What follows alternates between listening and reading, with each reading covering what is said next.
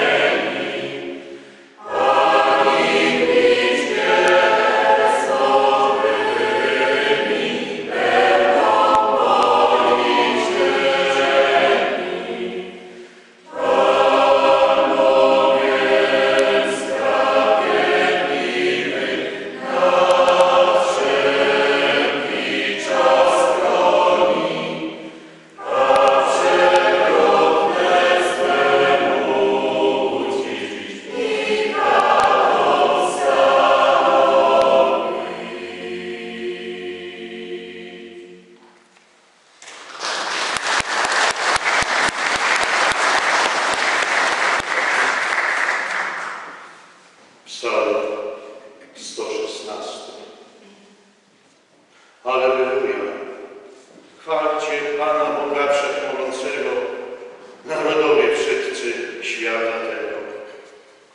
A vorbit ce bine înșine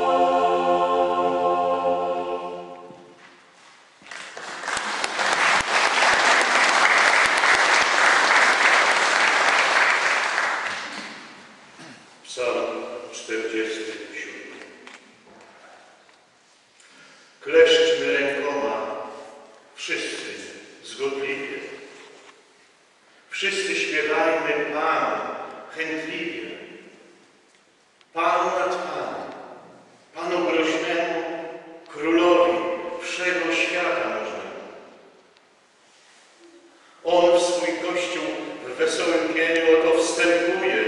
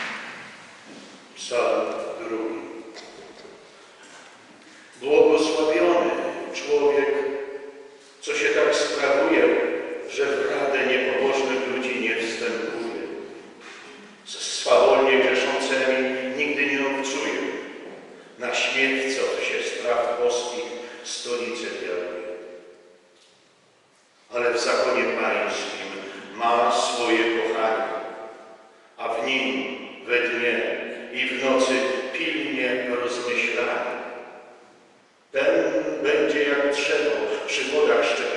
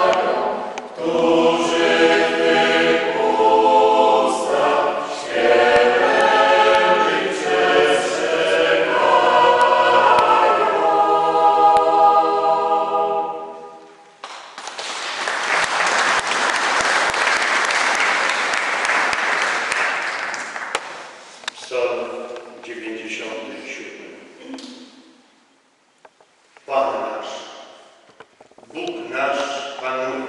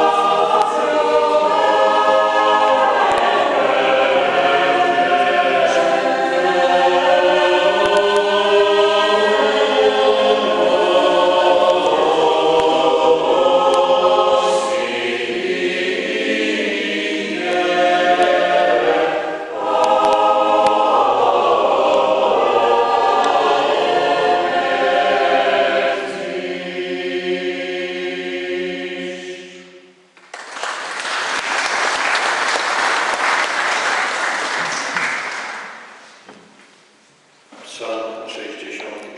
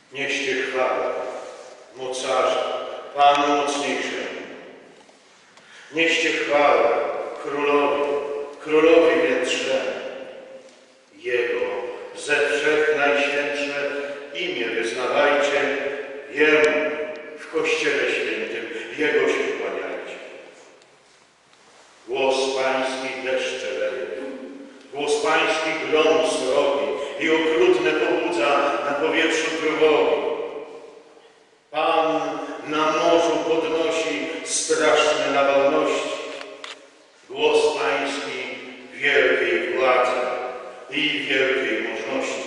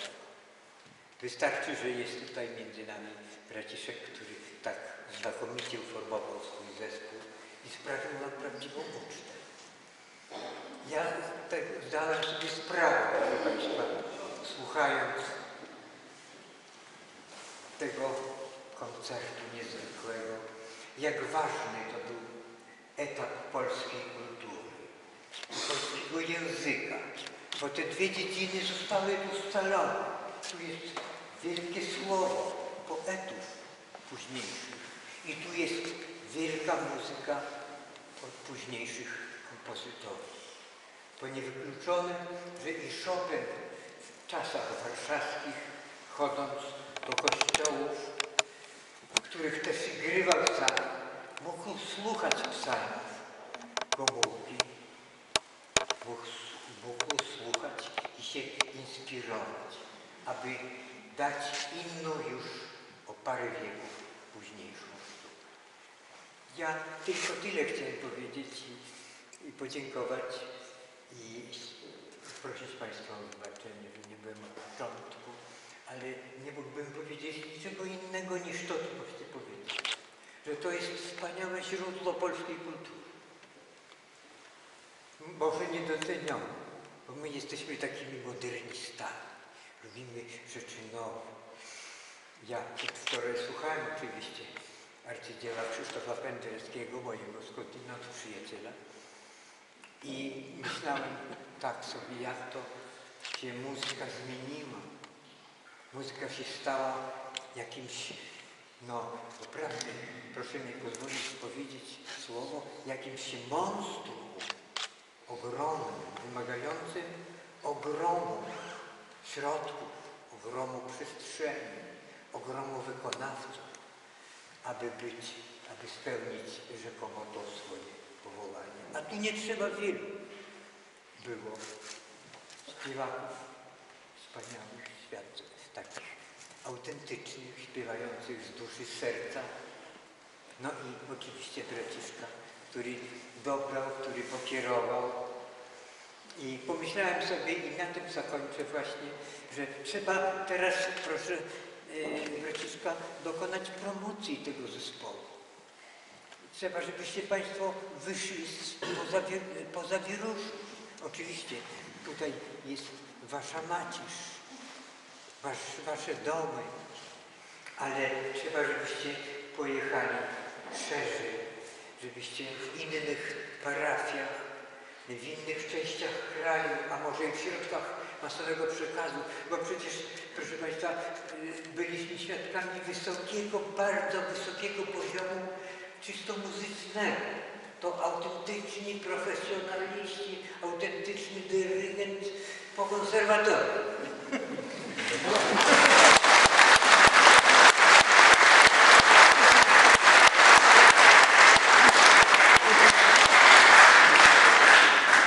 Najszczerzej to mówię, proszę Państwa, bo już słuchałem w wielu częściach świata i w moich długich latach paryskich bardzo wielu wykonawców, którzy przyjeżdżali, prezentowali. No tak moglibyście Państwo pojechać do Monachium i do wielu innych ośrodków. I życzę Państwu tego i myślę, że trzeba się mm, troszkę y, zapropagować. Zrobię ze swojej strony wszystko, co możliwe, abyście Państwo mogli po pierwsze nagrać te, te, te utwory, nagrać na płyty. Dzisiaj to już jest, proszę Państwa, no, rzecz elementarna, że się nagrywa.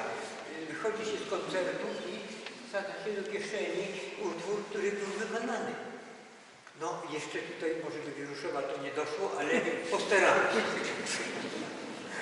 Ale postaramy się. Więc przepraszam, żegnam i serdecznie Państwu dziękuję.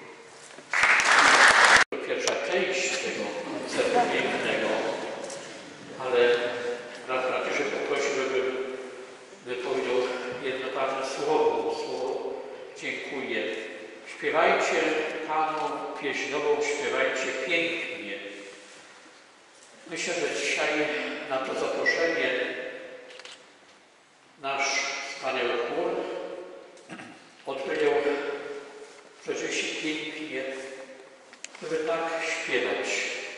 Nie wystarczy talent, nie wystarczy dobry dyrygent, nie wystarczy dobry słuch.